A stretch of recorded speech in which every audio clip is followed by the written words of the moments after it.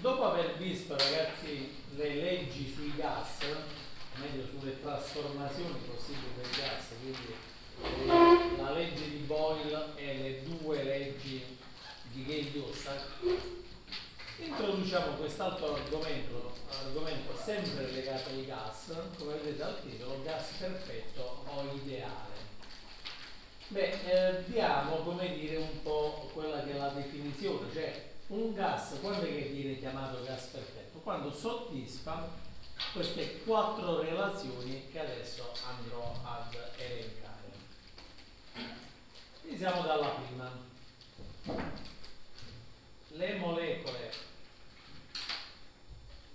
del gas, quindi inteso come perfetto, eh, le immaginiamo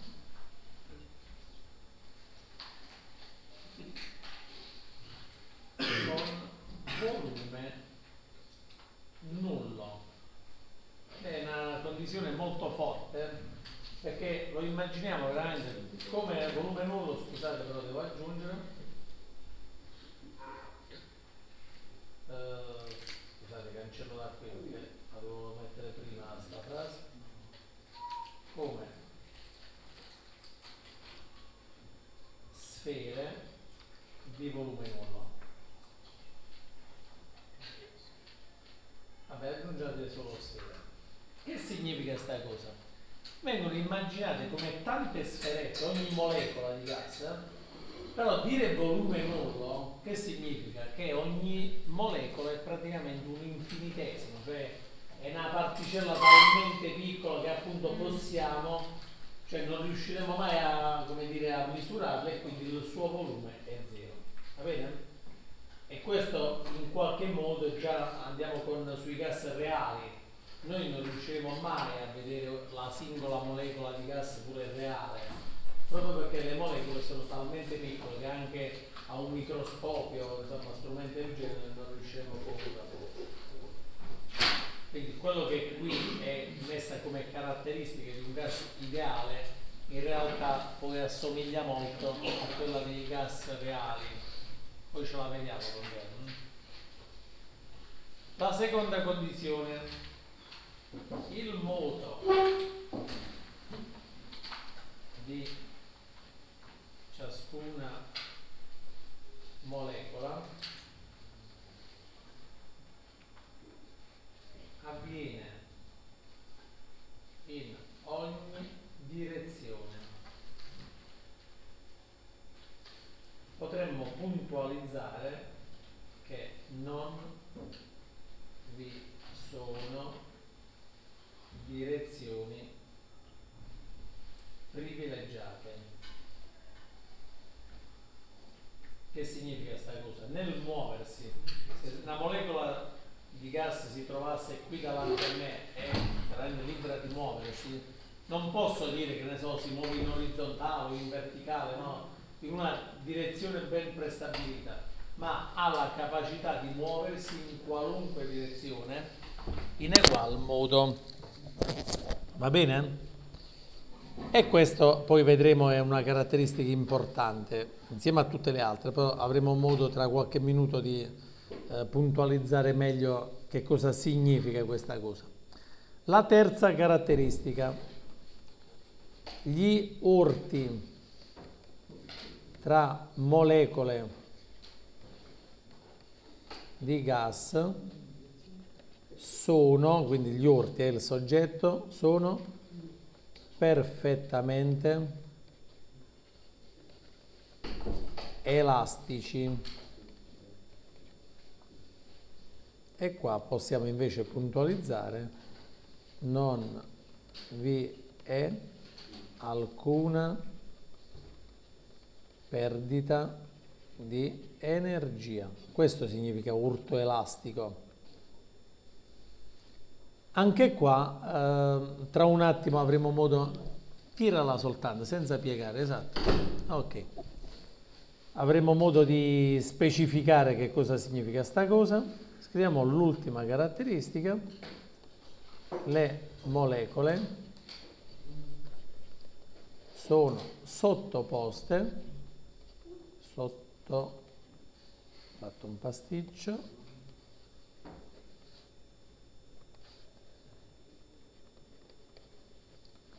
alle leggi della meccanica classica. Che significa sta cosa?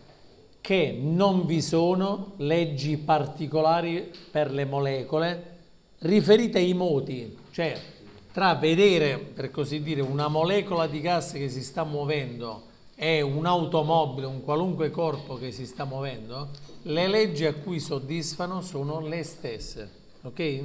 Pure che stiamo parlando no, di, di uh, oggetti, chiamiamolo così, infinitamente piccoli, perché l'abbiamo detto nel primo punto, che assimiliamo ogni molecola ad un volume praticamente nullo, ok? Queste sono le, eh, diciamo, le caratteristiche che deve avere un gas perfetto. Cioè, quando uno dice, quando un gas si dice perfetto, quando soddisfa queste quattro condizioni. Quindi, eh, volume di ogni molecola, eh, sferico, eh, diciamo la forma, e il volume nullo. Seconda condizione, il moto avviene in ogni direzione in egual modo. Terza condizione, eh, gli urti tra molecole sono perfettamente elastici, quindi non c'è perdita di energia. Quarta condizione, il, eh, diciamo, ogni molecola di gas soddisfa le leggi gas dei, scusate, le leggi della meccanica classica, quindi nei moti avviene ciò che avviene per ogni particella, ogni corpo, anche fosse più grande. Vediamo di tradurre un po' queste cose in ciò che avviene in realtà non solo per un gas perfetto, ma anche per un gas reale. iniziamo a parlare della sua direzione, che abbiamo detto che un gas si muove quindi in ogni direzione in egual modo, non ce n'è una privilegiata. Ma poi abbiamo parlato nel terzo punto anche di urti, perché le molecole, vedete, si comportano un po' come le sfere di un biliardo. Immaginate che questa si muove e arriva qui quest'altra si muove e arriva qui. Nel momento in cui c'è l'urto, che cosa avviene? C'è inevitabilmente un cambio di direzione. Boh, faccio di colore diverso. Quindi immaginate che questa molecola prende quest'altra direzione, così questa e quest'altra, poi semmai qui arriverà ad urtarsi con un'altra, questa qui continua così, questa che ne so si piega in così, quindi se io andassi a vedere, boh, immaginiamo di vedere solo una traiettoria eh, di una eh, qualunque molecola, sarebbe un moto totalmente casuale. Cioè non posso dire la molecola parte da qua, va bella dritta e arriva in un determinato punto, come fosse una strada dove cammino da solo, no? Mi metto e cammino dritto. Perché ci stanno miliardi, diciamo anche più di urti in ogni istante, in ogni secondo. Quindi ad ogni urto, come avverrebbe no, con le sfere di un biliardo, che cosa succede quando due sfere, ognuna semmai, immaginate due giocatori, ognuna la lancia e si incontrano, ognuna prende poi una, istantaneamente una direzione diversa, no? Non è che eh, fa un cambiamento così la sfera del biliardo, no? Quando urta l'altra cambia direzione, che questa arriva da qui, quest'altra semmai se va in così, va bene? Quindi così avviene per uh, le molecole dei gas. Però puntualizziamo, quindi il moto è vero che avviene in ogni direzione, ma poi di fatti la traiettoria di ciascuna molecola è una traiettoria in cui c'è un continuo cambio di direzione dovuto a quegli urti. Il discorso invece sugli urti, vedete quest'altra condizione che avevamo detto, che gli urti sono perfettamente elastici e già l'ho puntualizzato, non vi è alcuna perdita di energia. Supponiamo al contrario che uno dice vabbè, e se ci fosse questa perdita di energia? Supponiamo che ci fosse. In un gas messo in un contenitore, no? Un po' pure quello lì che, che abbiamo visto per fare gli esperimenti virtuali. Immaginate che là dentro c'è il gas, queste molecole che si muovono e quindi urtano tra di loro però supponiamo per assurdo che gli urti non siano perfettamente elastici, cioè ad ogni urto c'è effettivamente una seppur minima perdita di energia. Ok? Se ci fosse una perdita di energia ad ogni urto, siccome avvengono miliardi e miliardi di urti in ogni istante, dopo un po', cioè perdi energia adesso, perdi dopo, dopo un po', non dico dopo pochi secondi, ma dopo un'ora, una settimana, un mese, quello che ci pare, dopo un certo tempo, quelle molecole che farebbero?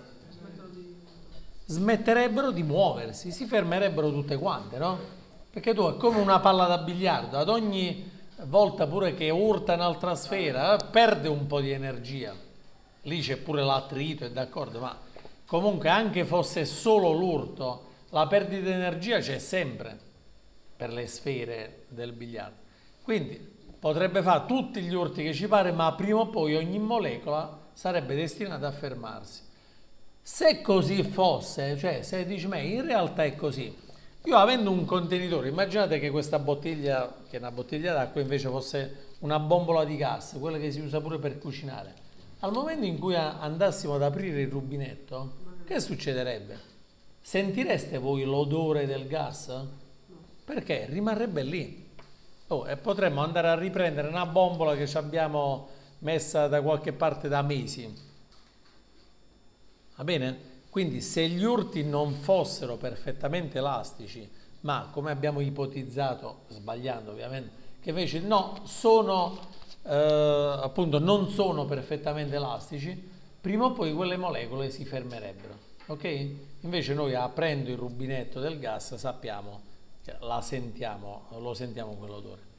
Poi sempre in questo esempio che sto facendo, torniamo proprio sul fatto delle direzioni Vedete, il fatto che non ci sia una direzione privilegiata lo dice il fatto che una situazione facilmente riscontrabile, apro una bombola di gas o apro il fornelletto di casa, bastano pochi secondi. Che succede in tutta la casa?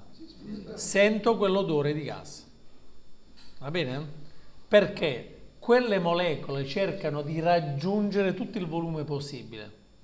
Chiaramente se apriamo le finestre quell'odore sparisce in pochi minuti poi, proprio perché il nostro olfatto si abitua, anzi scusate, eh, odore di gas dico perché oramai siamo talmente abituati a, quell'additivo chimico che è stato messo, ma il gas non ha odore, eh? però senza quell'additivo già così ogni tanto possono accadere incidenti, no? esplosioni cose di stufe a gas e quant'altro. Figuratevi se non potessimo ascoltare, sentire con il naso nessun odore, sarebbe veramente una tragedia ogni giorno. Però per noi oramai è talmente, cioè saranno 70-80 anni che viene usato quell'additivo che per chiunque il gas ha quell'odore, quindi ci siamo convinti tutti quanti che, che il gas abbia un odore invece non ce l'ha. Va bene, quindi dicevo tutta la casa sì, eh, sentiremo quell'odore di, di quell'additivo chimico chiaramente legato a, che si lega alla molecola di gas. Va bene? Quindi il fatto di sentirlo per tutta la casa, che significa? Che il gas è andato in ogni direzione, cioè non ce n'è stata una privilegiata, come ho sottolineato qui, va bene? Ma è andata in ogni direzione. Va bene, poi l'ultima considerazione, il fatto di, che non ci siano delle eh, leggi particolari per i gas, ma mo si riapre lo stesso. Ma eh, una molecola di gas si comporta come un qualunque corpo che è in movimento, va bene? Quindi so, soggetto ad accelerazioni, decelerazioni, può andare a velocità costante e quant'altro. Ok? Quindi questa è uh, la definizione. Pensate che c'è una seconda definizione molto più semplice. Un gas è detto perfetto se soddisfa le leggi di Boyle e di Kay-Lussac. Questa è bellissima come definizione, uno si spiccia in due secondi. Un gas che soddisfa le tre leggi che abbiamo imparato a conoscere, la prima di, la Boyle, quella di Boyle e le due di Gellius, è detto gas perfetto. Però vedete, in questa seconda definizione eh, è come se, che è giusta, eh, non è che è un imbroglio, però uno non riesce a, ad avere l'idea eh, nella pratica, dice un gas perfetto come si comporta, invece nella prima definizione no, queste sferette eh, minuscole eh, di volume nullo che vanno in ogni direzione, che negli urti non perdono energia, cioè riesco già a immaginarmele, va bene? Invece se dessimo solo questa, questa definizione, insomma sarebbe molto generica, però ripeto è una definizione assolutamente, un enunciato, se vogliamo, di gas perfetta assolutamente eh, accettata diciamo, in fisica. Quindi un gas che soddisfa le tre leggi che abbiamo appena fatto si dice gas perfetto. Bene, L'ultimo argomento, diciamo che almeno chiudiamo un po', è l'equazione di stato dei gas perfetti. E qui anche andiamo ragazzi a completare un qualcosa di già iniziato, ovvero proprio la legge di Boyle, che adesso richiamiamo. Che diceva la legge di Boyle? che il prodotto per un gas tra pressione e volume è costante. Mi ricordate? Quindi poi abbiamo detto che se, questo significa che sono inversamente proporzionali, insomma tutte queste cose, ma in sostanza questa era la formula, la legge. Beh, l'ho richiamata perché l'equazione di stato dei gas perfetti, ragazzi, è una sorta di ampliamento di quella legge di Boyle dove andiamo a dire quanto vale quella costante. Cioè Boyle aveva detto, eh, ho osservato che il prodotto tra pressione e volume in una trasformazione in cui isoterma, dove c'è un gas, quel prodotto è costante, ma non aveva, come dire, quantificato quella costante.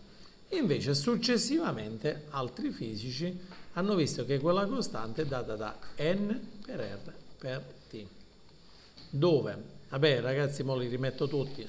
P è la pressione. È il volume.